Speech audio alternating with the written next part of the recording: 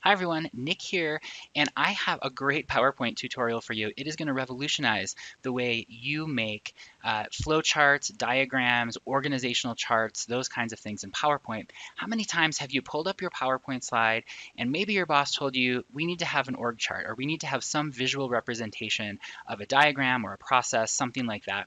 And so, of course, I know how to do that in PowerPoint, right? All I have to do is insert a bunch of boxes and then insert a bunch of lines and try to line them all up and move them around the page. You can take hours doing that, but I'm here to show you a quick trick that you can make those flowcharts so much easier in literally a click of a mouse. So let's jump over to the screen and I'll show you how to do it. All right, so we have our slide right here. Let's make an org chart here. And I'm just going to use some generic examples of maybe positions. So let's just start with executive director. Make sure that you're in this bulleted list right here. I'm just going to push enter.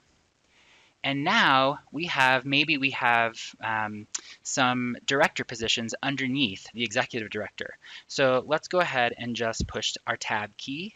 So it indents, it, it indents that text just one notch over, one tab over. And so I'm just going to say director here. And maybe we have four directors at our organization. All right, now each of those directors has a manager. So now what I need to do is go back up right here, put your cursor there, just push enter and then tab over one more time. So let's say manager. Let's do that with this.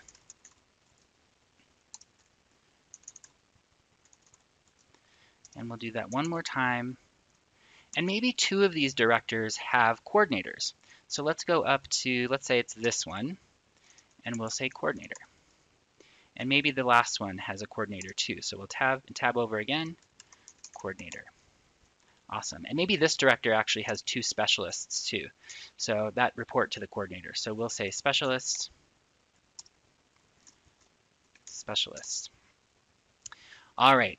So now all you need to do, we have our structure, our hierarchy sort of set up in this way in a text, super easy to type.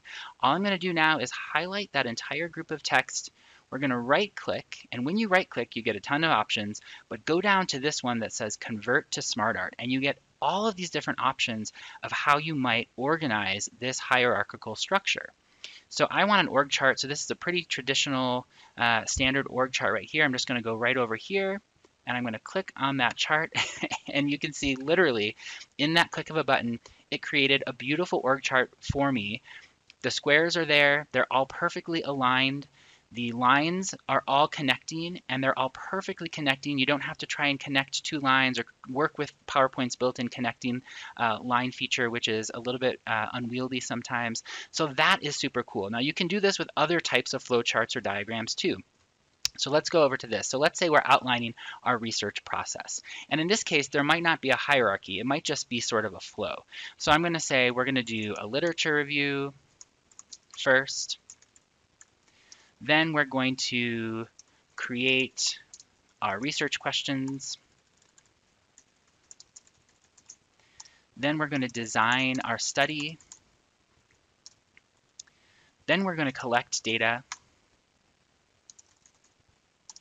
We're going to analyze the data. We're going to visualize the data.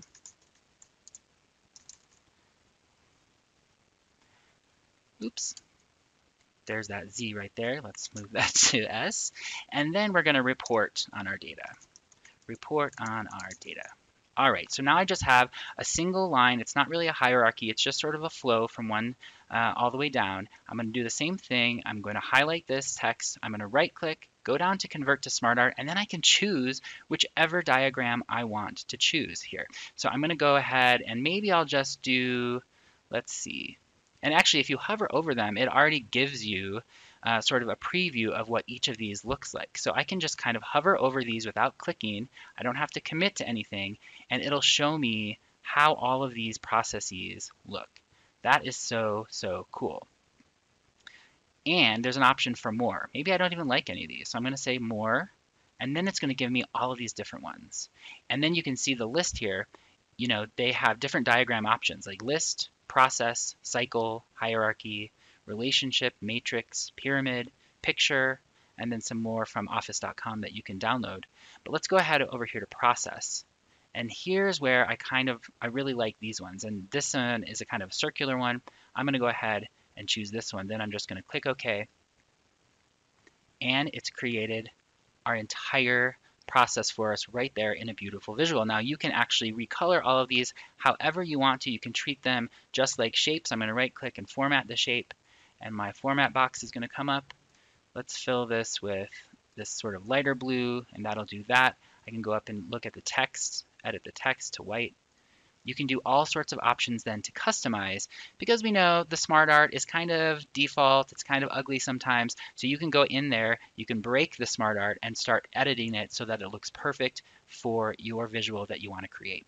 So I hope this gave you some new ideas. If you like this video, go ahead and give it a thumbs up. I would appreciate all the likes and subscribes every time I put up a new video uh, on data design, PowerPoint, Excel tutorials.